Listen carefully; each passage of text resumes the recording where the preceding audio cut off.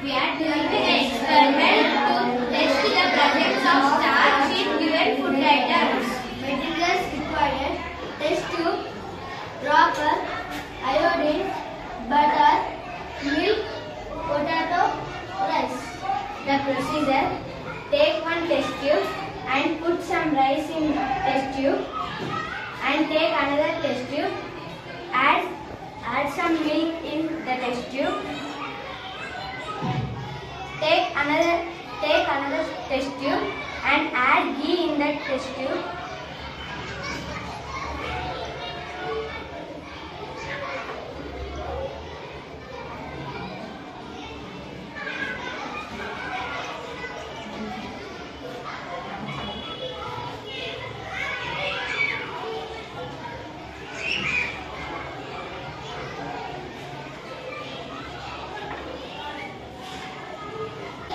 take a slice of potato and add the few drops of iodine in all the all the items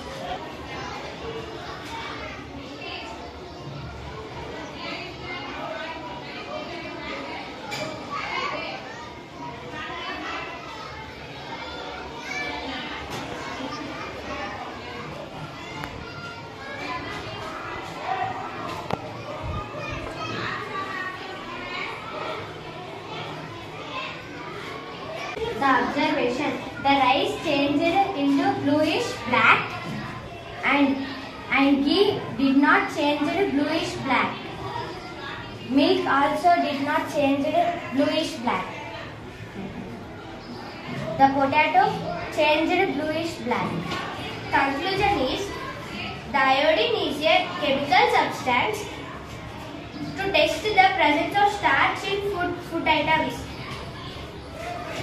The, the rice and potato change bluish black.